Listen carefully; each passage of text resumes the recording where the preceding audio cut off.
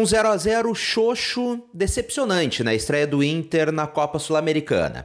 É claro, se pegarmos o resultado isoladamente, não é um resultado horrível. Afinal, o Inter jogou fora de casa, estreou na competição fora de casa.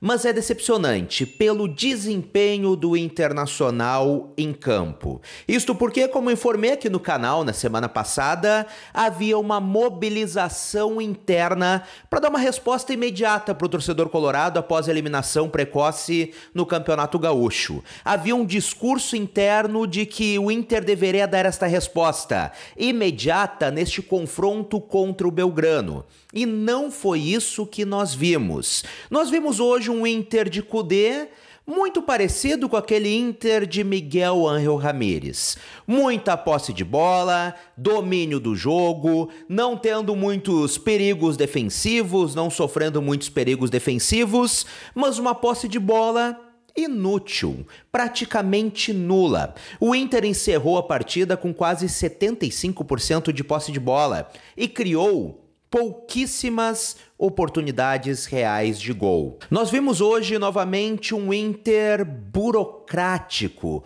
um Inter apático, que sim, tinha bola, mas não tinha efetividade. Tinha bola, mas não criou chances reais de gols. Aliás, criou algumas chances com Rafael Borré, mas pouquíssimas chances comparadas com a superioridade técnica que o Internacional tem. Afinal, como a gente já conversou algumas vezes por aqui, o Inter contratou muito bem, contratou jogadores qualificados, jogador, jogadores gabaritados, tanto é que a torcida começou a se associar em peso, criou muita esperança, mas essa qualidade não está se convertendo dentro do campo. Um Inter que eu não sei sinceramente o que, que está acontecendo, porque eu já elogiei diversas vezes aqui no canal a maneira do Inter de Cudê jogar futebol. Eu falei várias vezes por aqui, um time que sempre busca o gol, que corre os 90 minutos, que independente do resultado pressionava o adversário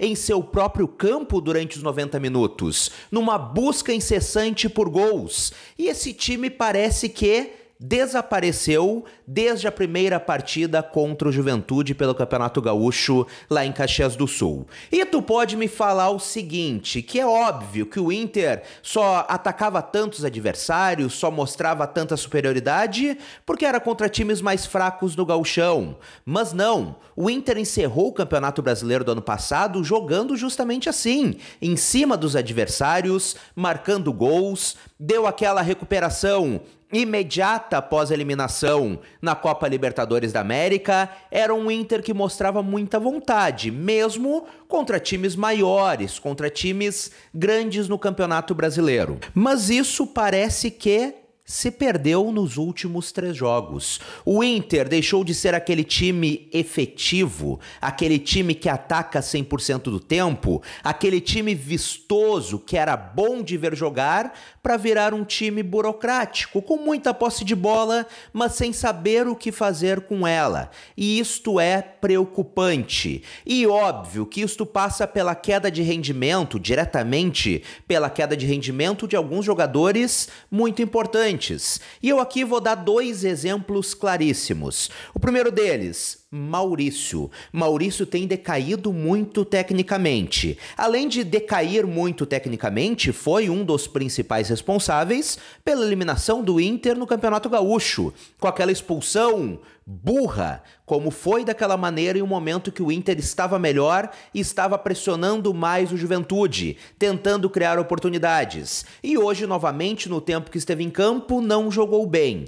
E o principal deles, já que eu elogio tanto ele quando bem, já chamei de maestro por aqui, defendi convocação para a seleção brasileira, agora eu tenho que falar. Alan Patrick. Alan Patrick praticamente ainda não mostrou seu futebol no ano de 2024. Está muito abaixo da qualidade que a gente sabe que ele tem e que ele já mostrou que tem. Está muito abaixo da qualidade daquele Alan Patrick que não só eu, mas diversos colegas jornalistas Brasil afora defendiam na seleção brasileira. Alan Patrick está apagado. E isso é preocupante, pois ele é o único armador do Internacional. Quando Alan Patrick se apaga, quando Alan Patrick não consegue ter criatividade para criar, o Inter praticamente perde todo o poder de criação. E, ao meu ver, a, a, decadência técnica nos últimos jogos destes dois jogadores são fatores responsáveis diretamente pela queda de rendimento do Internacional na parte ofensiva. E isso fica bem claro em partidas como hoje, que o Inter teve muito mais posse de bola do que o adversário,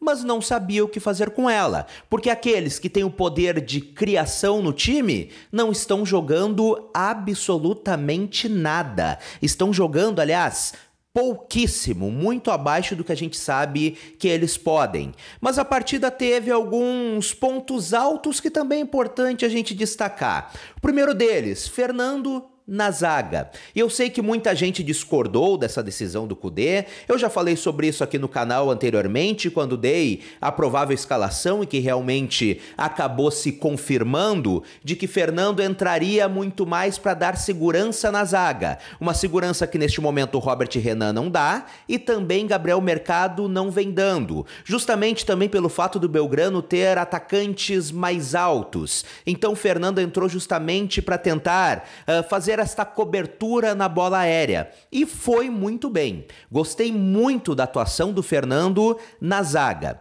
Óbvio, ele é volante, não deve ficar jogando como zagueiro, mas especificamente na partida de hoje, foi muito bem. Deu uma consistência defensiva para o Internacional muito boa. Tanto é que o Belgrano pouquíssimo conseguiu criar uh, nesta partida. É claro, o Belgrano não é uma grande equipe, não tem uma enorme qualidade técnica, mas mesmo assim, Fernando foi muito bem, conseguiu anular a, a maior parte das oportunidades, das poucas oportunidades que o Belgrano tentou tentou criar. E eu também quero destacar dois jogadores que vieram do banco de reserva e foram muito bem. Primeiro deles, Gustavo Prado. Jovem Gustavo Prado, 18 anos de idade, o Inter já está trabalhando para renovar o contrato dele, como informei no canal aqui nessa semana, até o final de 2028 o Inter quer, quer renovar. Entrou muito bem no lugar do Maurício, deu uma mobilidade que o Maurício não estava conseguindo dar. Óbvio, é jovem ainda, tem muito a evoluir, mas eu estou gostando do que eu estou vendo do Gustavo Prado. Se o Maurício não melhorar, continuar decaindo como vem decaindo nos últimos jogos, Gustavo Prado pode assumir essa titularidade. E outro é o Wesley. O Wesley foi muito bem, entrou muito bem no jogo. O Inter ganhou uma força ofensiva com Wesley que não estava tendo com Wanderson na partida. Aliás, o Wanderson hoje novamente cabeça fraca. Não é o primeiro jogo que ele tá assim. É um jogador muito habilidoso, eu já elogiei, já defendi ele várias vezes por aqui,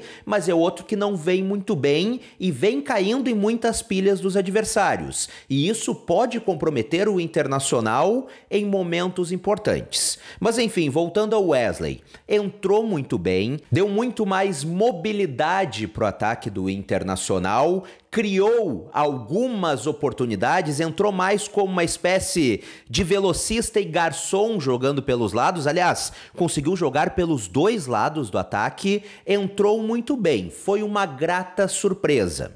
Mas foi basicamente só isso que nós conseguimos aproveitar do Internacional na noite dessa terça-feira. Muito abaixo do que a gente sabe que o Inter pode render, muito abaixo do que o elenco montado pelo Internacional pode render.